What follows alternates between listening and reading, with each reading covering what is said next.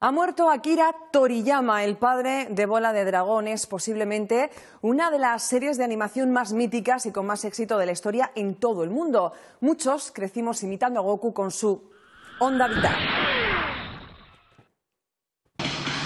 A Iván la noticia se le ha atragantado preparando este salón de manga. Antes de Bola de Drag eran dibujos. Después de Bola de Drag existió el anime, al menos aquí en este país. Obligado a instalar un pequeño altar para que todos puedan decir adiós a Akira.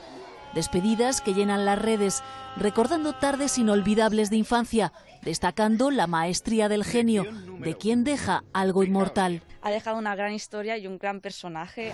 Que no envejece. Es alucinante cómo después de tantos años pueden pueden seguir tan vigentes. O sigo como antes, como cuando era pequeño, las figuras, los cómics. Entre sus superpoderes, el enganchar a las nuevas generaciones. Como tienen acción. En los cómics, los gráficos molan mucho. Sin ser un gran mangaka, dicho por él mismo, le cogió el gusto. 9.000 páginas escribió sobre Goku y sus amigos. Todos ven en él el responsable de popularizar el manga en Occidente más aún cuando la televisión cogió a sus criaturas y las convirtió en héroes en 81 países. Un universo infinito, el de Akira Toriyama. Ojo con mi onda vital. Pasen un feliz fin de semana. Esta noche aquí Ángeles Blanco. Adiós.